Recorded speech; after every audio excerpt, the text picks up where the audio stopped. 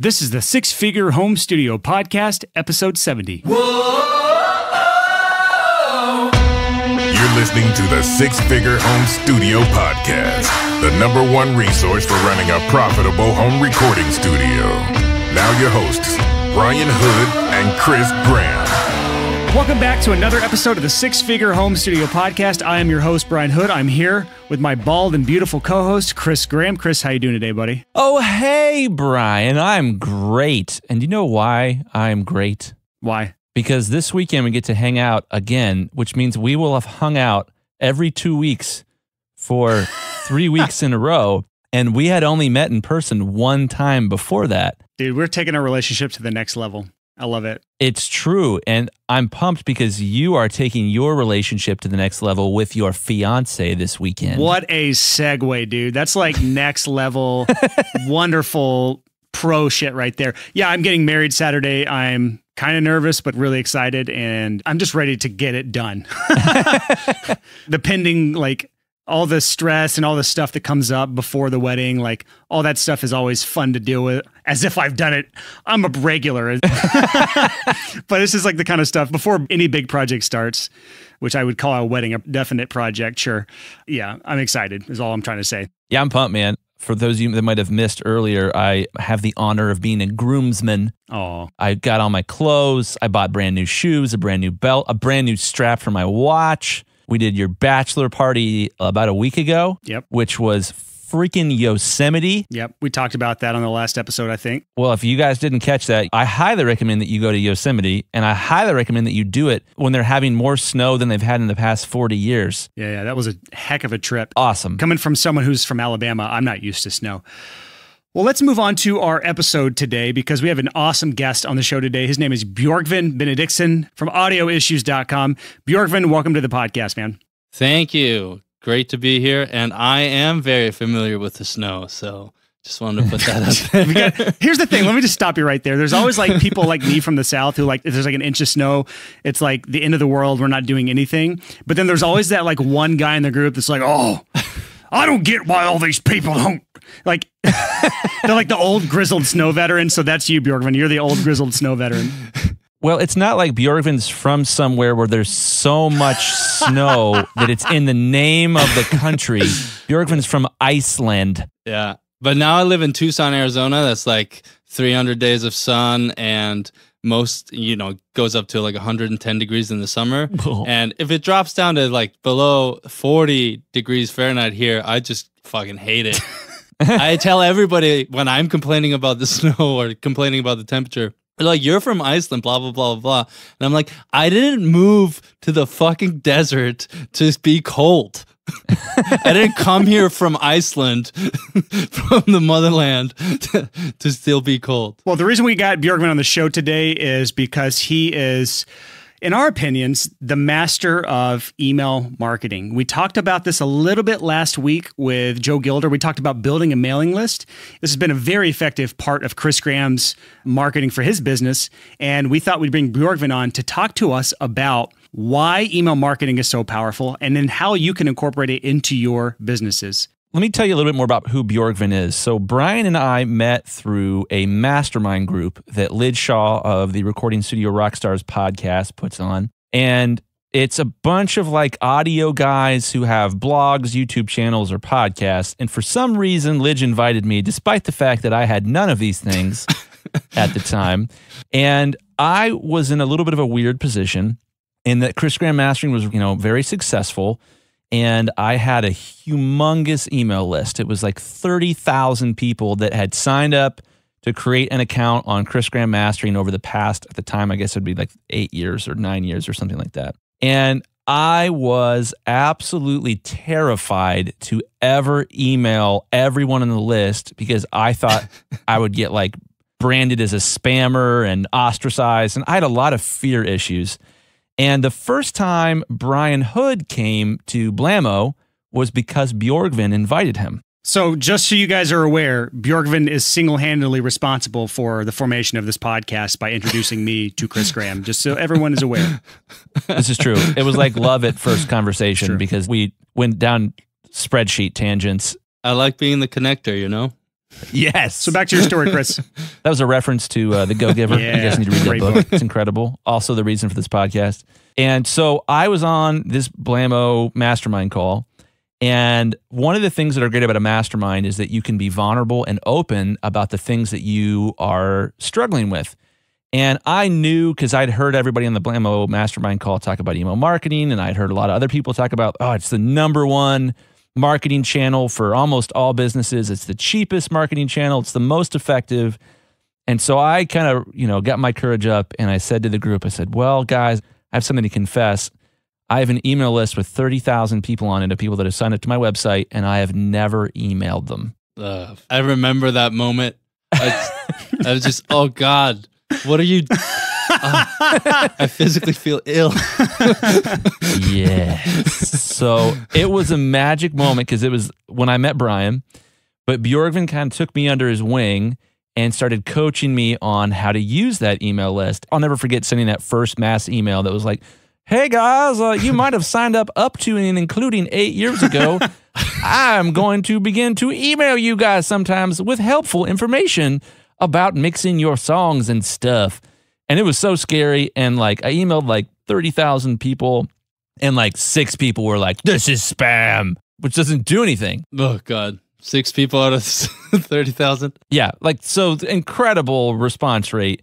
And I was blown away that like all of a sudden all these customers that I hadn't talked to in like 5 or 6 years were like, "I'm going to hire you this week." And it was just this crazy explosion of growth for my business.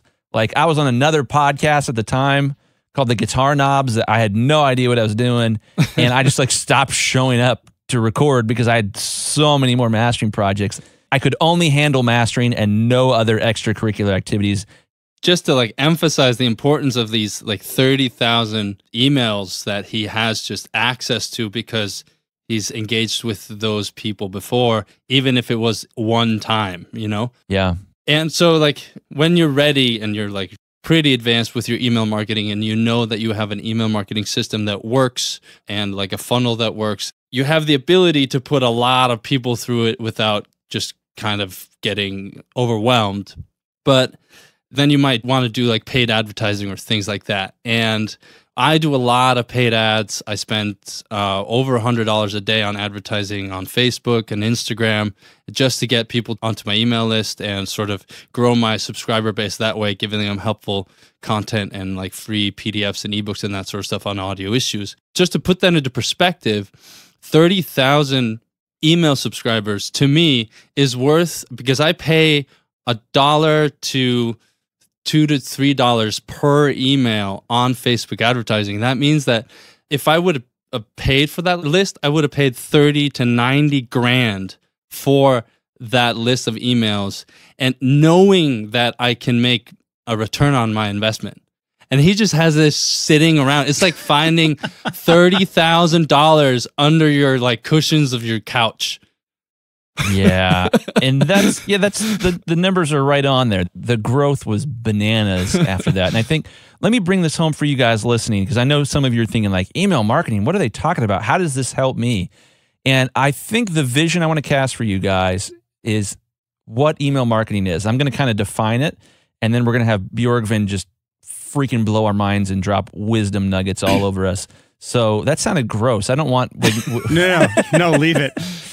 we're going to leave it. So, with email marketing, it's amazing because when people come to your website, if you give them something free, my thing is the free mastering sample. If you give them something for free, they'll give you their email address. And once you have their email address, if you continue to serve them by providing value, you know, if you're a mix engineer you own a recording studio, it could be like, you know, songwriting tips or it could be tips on how to record better vocals or you know fill in the blank. There's any number of ways that you could provide free value to your potential customers. And if you have this giant email list and you're trying to fill up your calendar with paid gigs and you have some openings you can email the whole list with you know cool interesting information that my whole list will love. And by the way i have this week available in a month. It's this massively powerful channel that you own. So, Instagram, YouTube, Facebook, all of these things, you can build a huge following on there. But if they change their algorithm, you can no longer reach your audience. Email marketing is so much cheaper to use and you own it. Right. Why build an email list? People ask. And the thing that I think is so important when it comes to email versus something like social media or posting on Facebook or posting on your blog and hoping people will see it that way is that even if they're your greatest fan, even if they're they like love everything you put out and will eventually buy everything you publish, uh, they don't check your stuff every day. They don't go on your website every day. Like Facebook's certainly not going to show them your stuff every day. Your stuff's not going to come across their Instagram scroll while they're on the bathroom every day. But everybody checks their email at least once a day, if not incessantly throughout the day. We still do that. There's definitely been an increase in sort of the like people just getting exhausted with emails. But at that point, it becomes even more valuable and more important to be better at email marketing and be better at being authentic, sharing yourself, sharing your stories, creating a relationship with your fans and your subscribers because it gives you direct access to your fans, to your subscribers. It's trackable.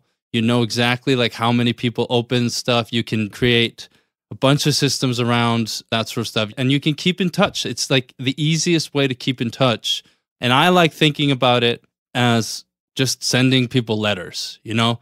People have been sending letters in the last hundreds and hundreds of years. People have been sending letters to each other. And this is just me sending like, "Hey, here's an update of what's going on with me."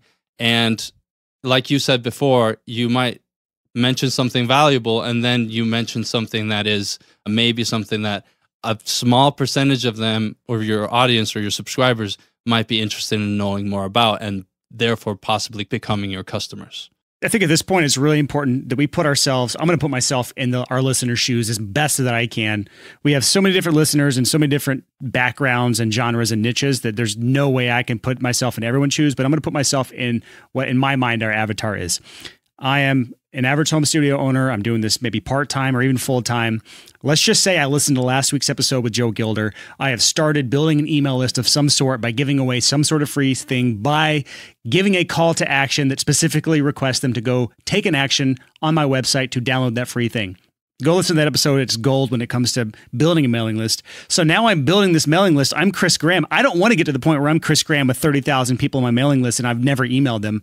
What do I start doing as I'm building a mailing list without A, being annoying, B, running out of things to talk about, and C, without pissing actually that's the first thing. C, but while still making some sort of income, making it worth my time. Right.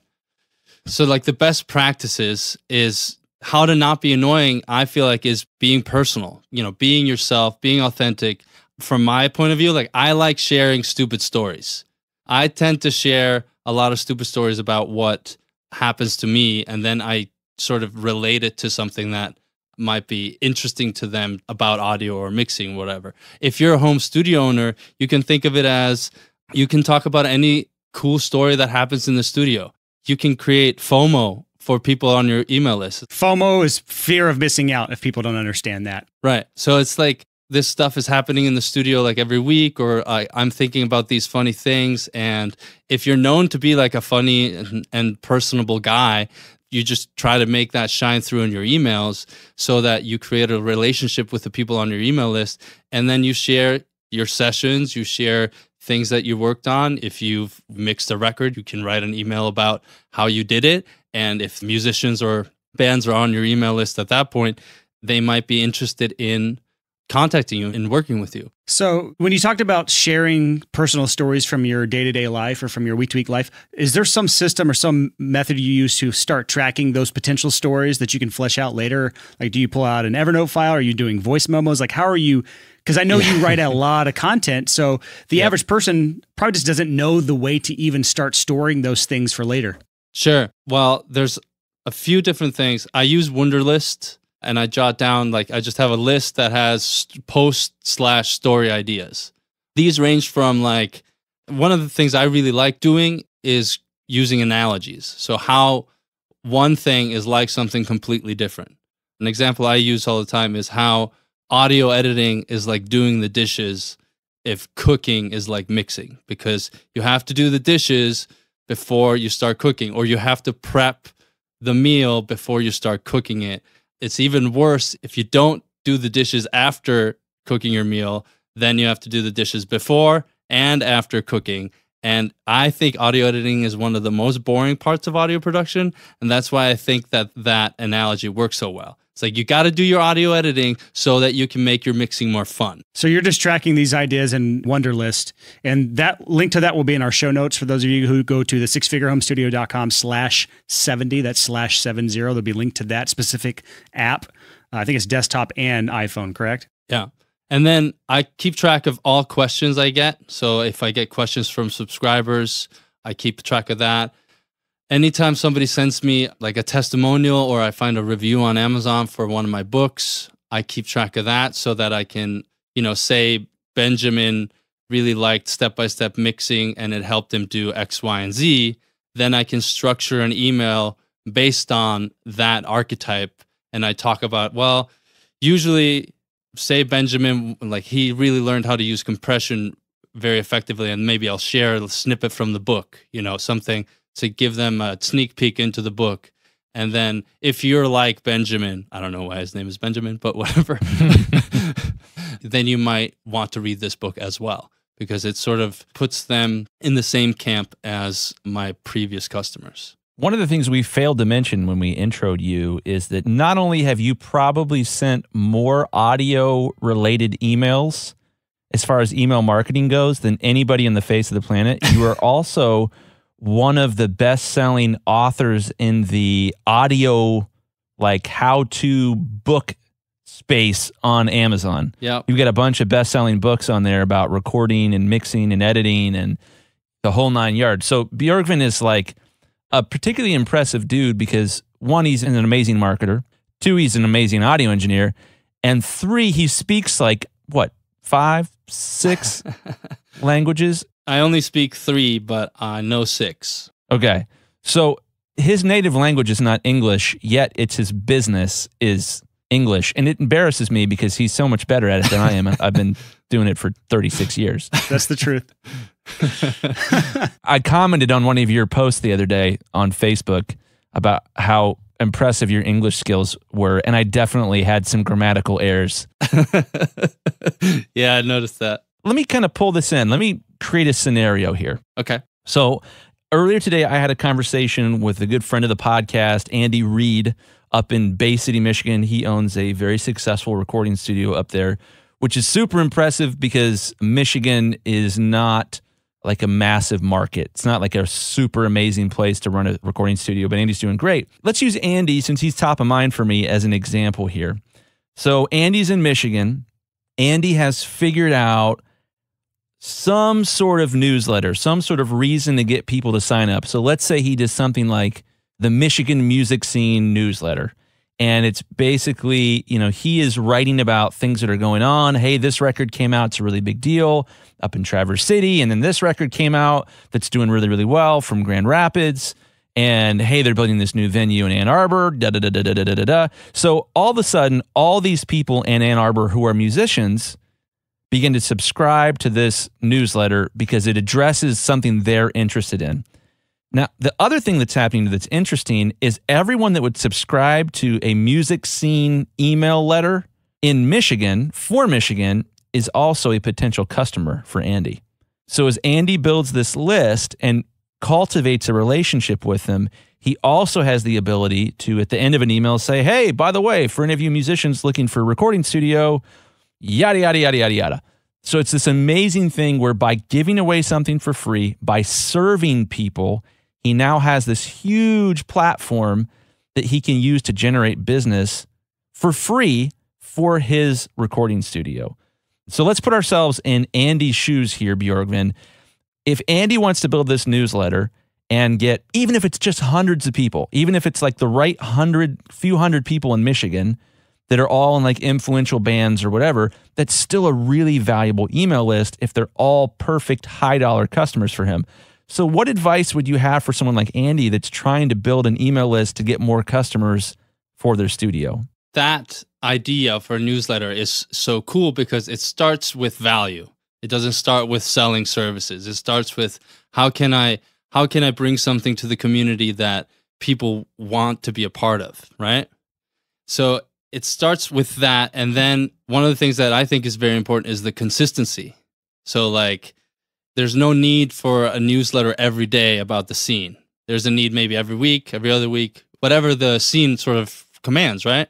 He could make it even sort of like the newsletter sort of stand on its own as its separate entity, which it sort of does from the beginning, and be like sponsored by Andy's studio.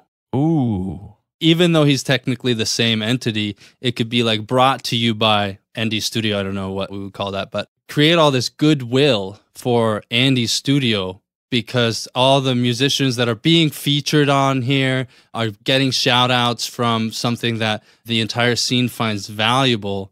It's creating all this goodwill. And that's one of the things you cannot buy. You cannot buy goodwill. You cannot buy like public relations.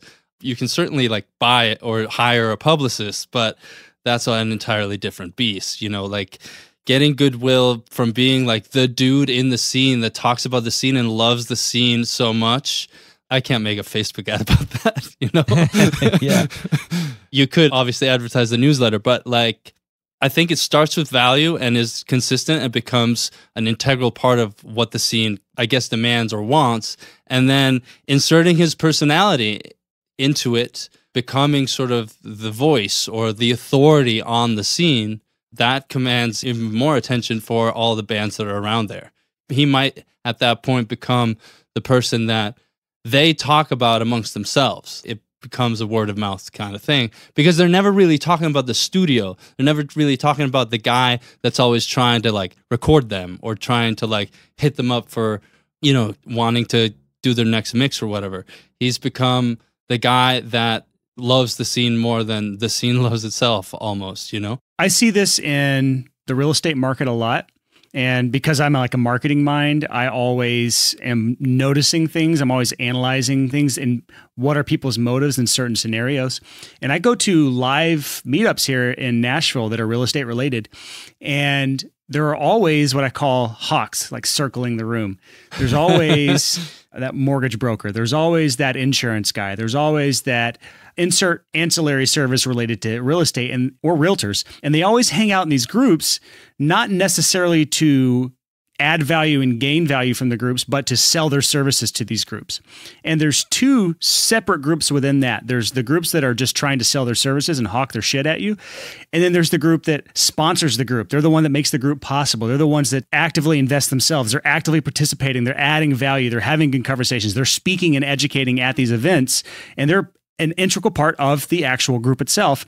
And those are the people that actually get hired when it comes time for getting title insurance, for getting a mortgage broker. Those are the people that always get hired. So when we take this back to the studio world, especially related to this newsletter idea that Chris is talking about here, if you are essentially associated with a positive thing in your industry, building that goodwill that Bjorgvin was talking about, that cannot be purchased. It cannot be sold. It is one of those things that you have to build yourself.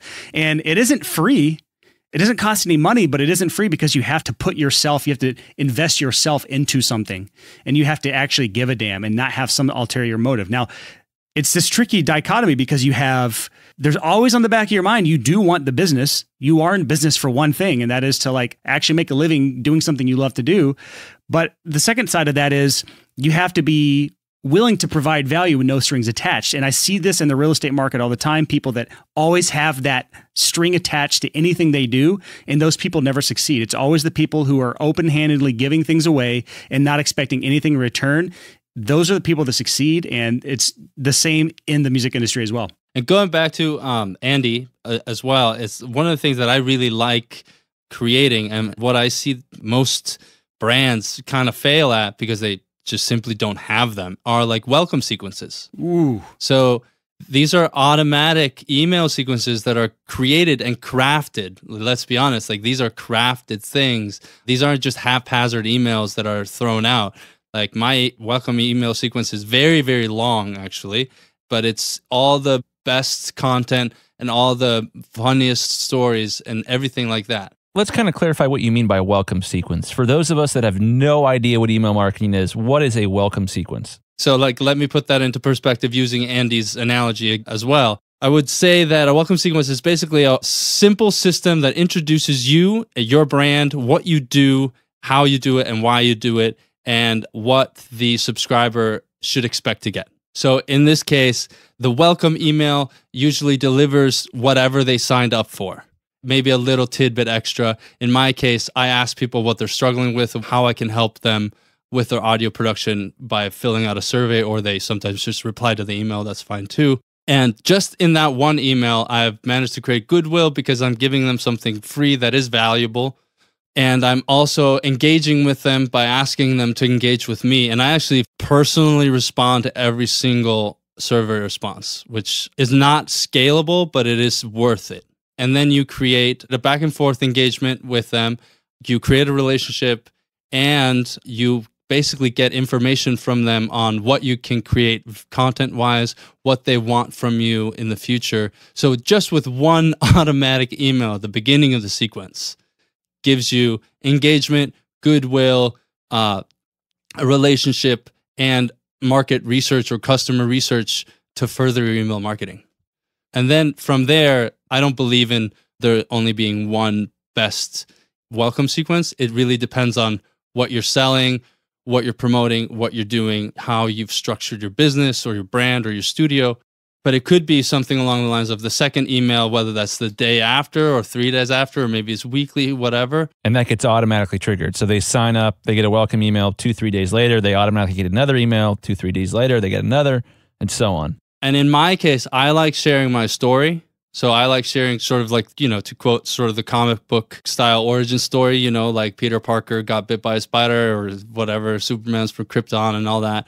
Like that's the origin story, right? My origin story is like I learned live sound in Iceland and I did a bunch of live sound for uh, underground indie clubs and big festivals. And then I moved to Spain and studied audio engineering in Spain. And then I moved to Arizona, and now I live in Arizona. I'm more as an audio educator and like a music and a mixing coach, and I'm a musician, an entrepreneur, and an author on the side. So it's like I was once just like a live engineer that was trying to figure out how EQ worked, you know?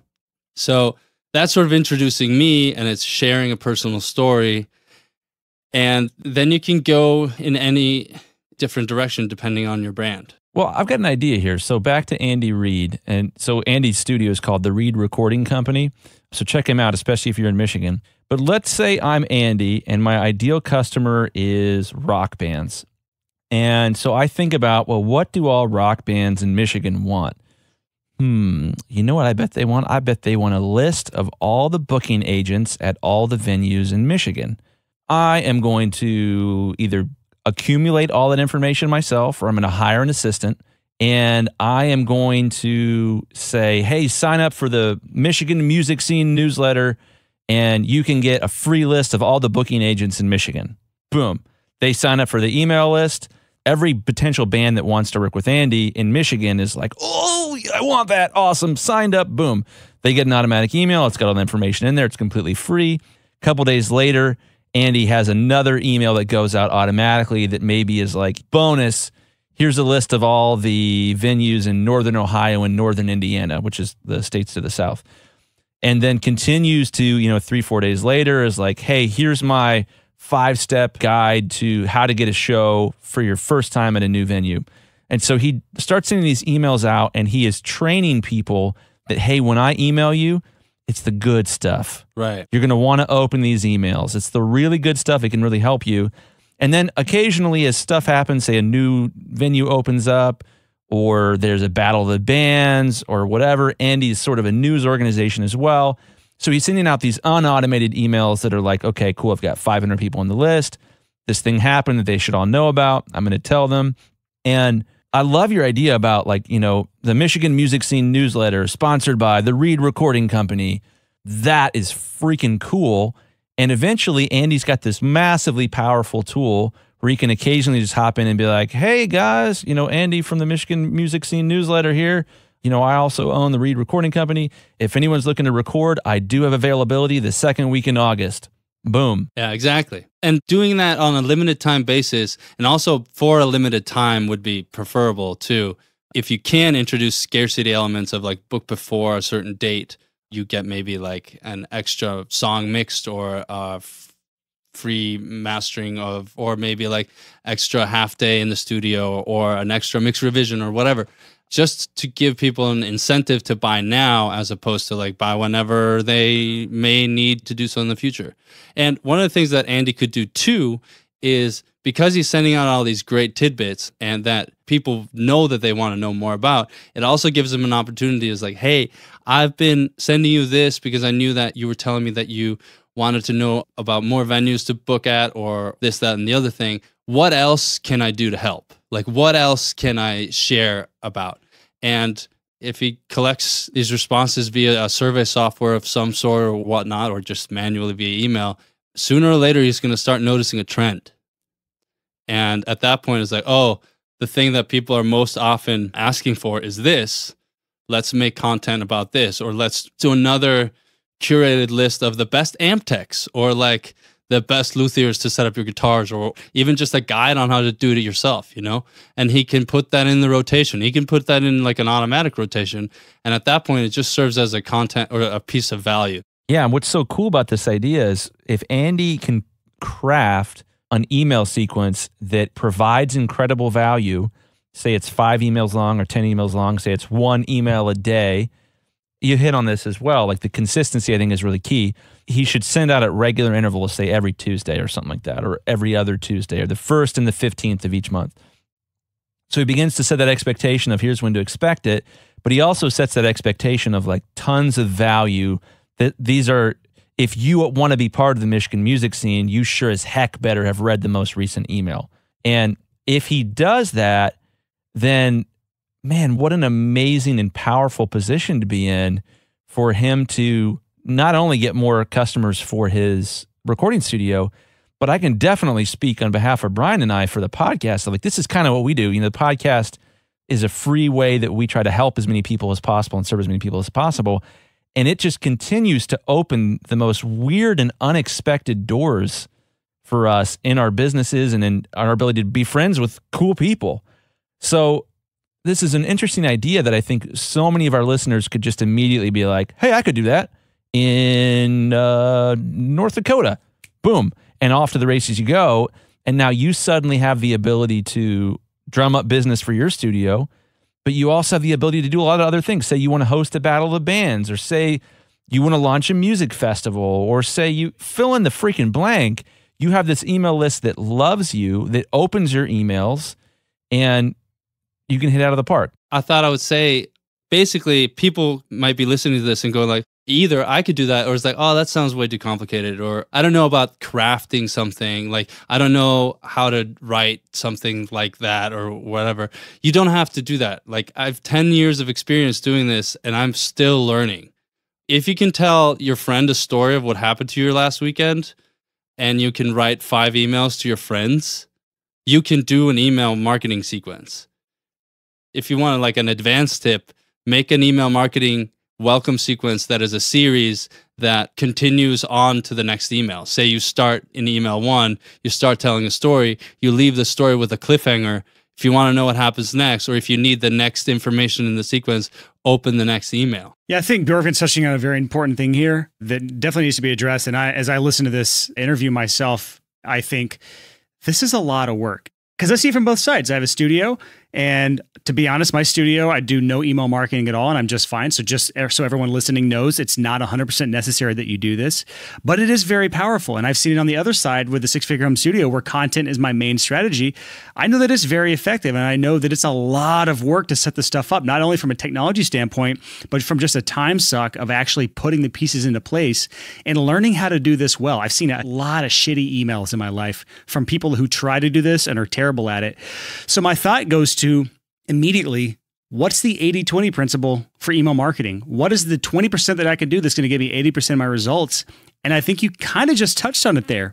It is finding just a simple email sequence that gets people warmed up to who you are, provides value to them, and then hopefully, if you can set a long term one, keeps you top of mind for this band or musician so that when it comes time for them to book a studio, you are the last name they have heard of when it comes to a recording studio. And that is by itself, terrible email or not, it is a very powerful thing to just be top of mind. it's the thing. It's like it's top of mind awareness because Coke doesn't spend billions of dollars or whatever on advertising every year because they think that everybody's gonna like immediately go and buy a Coke whenever they see a Coke commercial.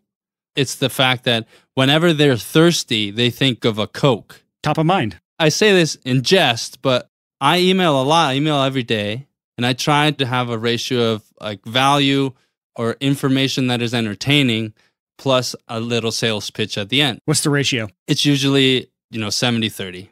It's usually just, you know, some value. And then if you like this or if you wanted more tips like these, check out da da da. And maybe I'll add a testimonial or I'll add a little bit extra there, psychology wise. But basically, this main strategy is like just be top of mind and follow up until they either don't need you, which is fine, or they become your customer and like your stuff, which is better, obviously. But, you know, you're not going to convert 100% of your subscribers to customers. It just will not happen. You know, you should be lucky with like 1 to 5%. And people don't unsubscribe to emails like en masse. They'll unsubscribe for a multitude of reasons. Like I unsubscribe to emails that I like just because I'm like, I don't really need this anymore you know? Like this is just cluttering up my inbox. Maybe somebody was a musician and now they're not, you know? There's no reason for them to be on your email list at that point. I think this would be a good time to kind of talk about the technology behind actually putting together an email list and an autoresponder sequence because for a lot of people i'd say probably most people listening to this podcast this is a foreign language a foreign world. They don't understand even the basics of and that's not an insult. It's just this is not what we learn as audio engineers. It's not sure as shit isn't taught in audio schools anywhere but it's also not taught on youtube videos. This is not part of the traditional business model for a recording studio. Most guys are not doing this. So again it's just untaught. So, what can someone do quickly and easily to get started as far as technology wise? If you're starting from scratch, I always recommend MailChimp, even though I don't use it because it is free up to 2,000 people. If you have more than 2,000 people on your email list, well, once you have more than 2,000 people on your email list, you should have also dedicated the time to know how to get an ROI on the $30 a month it costs or whatever. Yeah. But if you're starting from scratch, get a MailChimp account and first, figure out who your audience is and how you can serve them. And then, if there's a quick solution to their problem, maybe a list of some sort, going back to Reid Recording Company, if there's a list of venues or a list of whatever. In my case, it's like a quick solution. But it's actually like a list of EQ tips. So I offer a list of EQ tips for anybody who subscribes to the email list. And then I have an origin story or an intro sequence. So you just have to write five emails to a friend and be fun and friendly and offer them something cool. And then once you have that, you set that up in MailChimp. You subscribe yourself. You go through the sequence first. You make sure it all works and it makes sense. And you have your calls to actions correctly, do all the grammar and the syntax and, you know, spell check and all that sort of stuff. And then you create a landing page using something like well, Leadpages or any sort of landing page software out there. Wix and Squarespace, those all integrate with MailChimp. So, worst case scenario, you can. Perfect. Perfect. Yeah. So, you just make a page on your web page that, you know, the easiest way would just be do like headline that has the benefit driven headline that offers whatever it is that you're giving away for free. Uh, the benefits of getting that thing by signing up, a call to action that says sign up, you know, and like get my free checklist or like I want the free checklist or whatever. And then a link to sign up, whether that's an opt in box where you sign up directly on the page or a link that pops up something. I think everyone here has at least experienced this from the other side. So I think everyone understands that side of things. But the thing is that it doesn't matter which way you do it as long as you have one way that works. You know, you can always get better. You can always like tweak your landing page. I'm constantly tweaking my copy, my software, my email sequences, my headlines, all this stuff. So if you think you're going to set up like the perfect landing page with the perfect email sequence from the start, you are deluding yourself. I think you should start somewhere and just go from there. Well, I think one of the cool things to kind of bring home, just to make sure everyone that's listening gets this, is we preach on the podcast all the time The thing that we're talking about here, first and foremost, is serving other people. And I think one of the biggest mistake audio engineers make, and this isn't just us as audio engineers, this is everybody, is they have this like, well, I want to I want to get paid what I'm worth, and that's all about extracting value from other people because they deserve it. They have this sense of entitlement. What Bjorgvin's preaching here and what we preach all the time in the podcast is completely the opposite. It's find people who have a need and serve them in the biggest way that you possibly can. That's what I'm freaking doing right now with this podcast is Brian and I are trying to serve you guys by teaching you valuable information that can help you. And we believe that if you do that, if you go out and help as many people as you possibly can, ideally through mass media like email marketing or podcasting or blogging or YouTubing or something like that, that it generates a lot of opportunity for you to convert those people into customers in the future. And this is a service mentality, not a what am I worth mentality.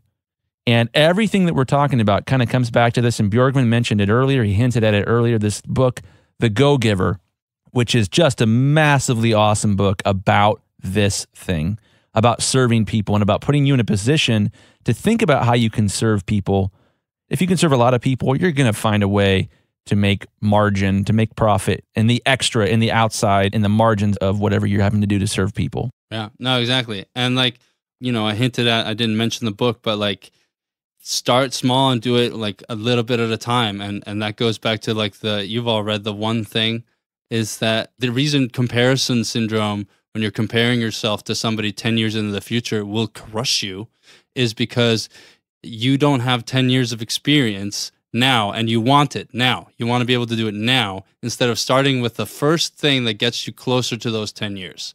And that's the only way you can do it. I mean, there's shortcuts and you can, you know, learn from experience and learn from books and learn from mentors that teach you how to avoid certain things. But you nothing's going to happen unless you start doing one little thing at a time. It's awesome. Well, Bjorgvin, for our audience, they've listened, they've heard, they're thinking, huh, maybe there's something to this email marketing thing. Where can they go to learn more? So I have a cool domain that I just bought. Yay! I don't know if you guys are in the domain buying business, but oh, I am. but it's writeawesomeemails.com and that'll redirect you to my personal sort of email marketing coaching page just where you can sign up to my email marketing manifesto. And it gives you sort of like my short ebook, if you will, that tells you exactly how I structure my email marketing and what I do to get to where I am today. I'm at 100 subscribers plus per day now. So I hope that that's a big enough of a number to sort of qualify me as somebody that knows how email marketing works. But if you go to writeawesomeemails.com slash podcast, if you go to that URL without the www, just straight into the address bar, it will send you straight to the landing page where you can sign up and get that free email marketing manifesto. Now, wait a minute, Bjorgvin. I feel like maybe this whole free ebook thing might be a scheme for you to email market to people. Oh my gosh, application. Yes. Well, funny you should say that because this is actually a brand new experiment because I really, really love teaching people how to do this better. I really, really like showing my systems and how I structure things. And this email list is actually brand new. There is not a welcome sequence, there is nothing there. It is actually just one email. And guess what it does? It gives you the free thing, it introduces you a little bit to who I am, and it asks you about what you need help with. How can I bring more value to you as an email marketing expert, if you will? And one of the things that I'm going to do in March is I'm going to do a 31 day strategy or 31 day challenge, if you will, to build a better email marketing campaign. And I'm going to teach you how everything that I do throughout the entire month of March. I'm taking this course called 31 Days to Build a Better Blog, and I'm using that course to teach you uh, in 31 days how to be better email marketers. So, what you'll get by signing up to the email list is hopefully value. I don't even have a product yet, but I will help you out if you open the emails. Well, there's interesting thing there with Bjorgvin. If you go to his page again, that's writeawesomeemails.com slash podcast.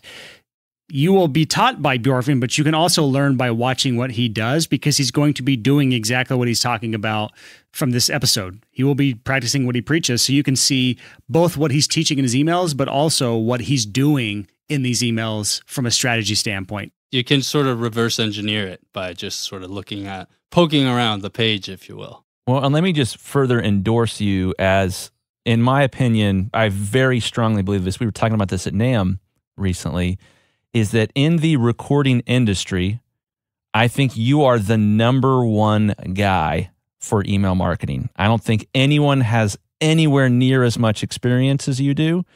And that's not something to underestimate. That's not something to shake a stick at.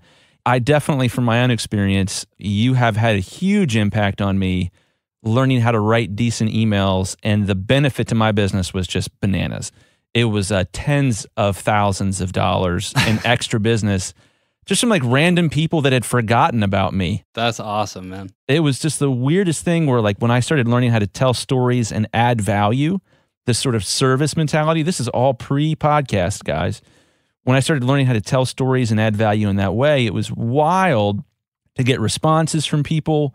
It was so weird that, like, instantly worked. That was like, oh, weird. That guy hasn't booked a mastering project in four years, and he just randomly booked a mastering project after getting this email because it made him like me and remember me.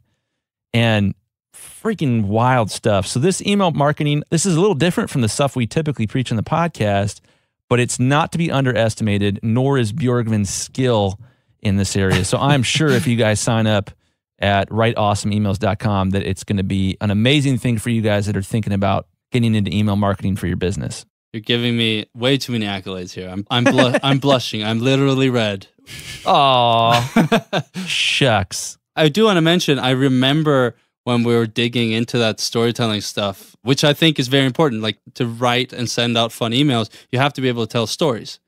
And I remember that story about the two guys where one of them just makes music to 80% of his ability and then publishes, and the other one like just strives for perfection every time and just doesn't get as far because quality will sort of follow quantity if you at least have a certain threshold. And I feel like 80%, as you said in that email, was a pretty good way of putting it because if you make a song every month at 80% and you release it, then in a year you've done 12 songs and your 80% in January versus your 80% in December is just night and day versus the one guy with the 100% perfection mentality that's still struggling to get the snare drum right in July. Yeah. And I think there's take home for us in this as well. And I'm speaking of somebody who had crippling fear to even sort of dabble in email marketing because it sounded evil. But this idea of like, just get started, just start on a small scale do a small experiment and be okay with the fact that it's imperfect and get over your fear of man.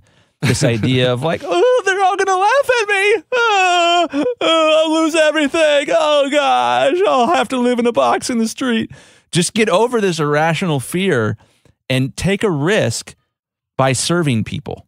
Go out, find a way to serve them. Not everyone's going to love it, but that doesn't matter. It's not how many people hate you, it's how many people love you that determines your success. Because you know what the worst thing is going to happen? It's actually nothing. Like that's the worst thing is is that nothing will happen. At which point you're at the same point as you were before, but now you know something and you're like, "Oh, okay, well, maybe that didn't work." Or maybe I should try a different strategy, you know. Really, the worst that can happen is that you learn something. Period. If you've been listening to the podcast and thinking, man, I wish I could get some one on one help with this business stuff, I have been taking on just a couple people as one on one coaching clients. It was something I just wanted to kind of dabble with, and it turns out it's like my most favorite thing I do each week. It's super fun. So, if you would like one on one business coaching to help apply some of the stuff you're learning in the podcast, check out chrisgrahammastering.com slash coaching to fill out an application. I would love to hear from you. And one last thing before you guys go this is a really important piece of the podcast. We need a favor from you so that we can help you more. We have a survey that we have put together to help us get to know who you are, why you listen to the podcast, what we're doing well, what we could be doing better, all those things. And you can reach it at the sixfigurehomestudio.com slash survey or 6fhs.com slash survey. It's really easy. It's really short. It's going to help us get to know who you are, how we can serve you better, what we can improve, all those things. So please check it out. It is absolutely, I mean this from the bottom of my heart, the biggest thing you can do to help this podcast get better, to help us get you better information, and hopefully to help us get guests who can blow our minds with awesome wisdom bombs of knowledge and stuff. So check it out, sixfigurehomestudio.com slash survey. Like I said, this is a big deal. This survey can really help us take it to the next level. And apparently, it's a normal thing to do on podcasts like this and is super duper helpful. So check it out, sixfigurehomestudio.com slash survey. Thank you so much, guys. Have a great week. Whoa!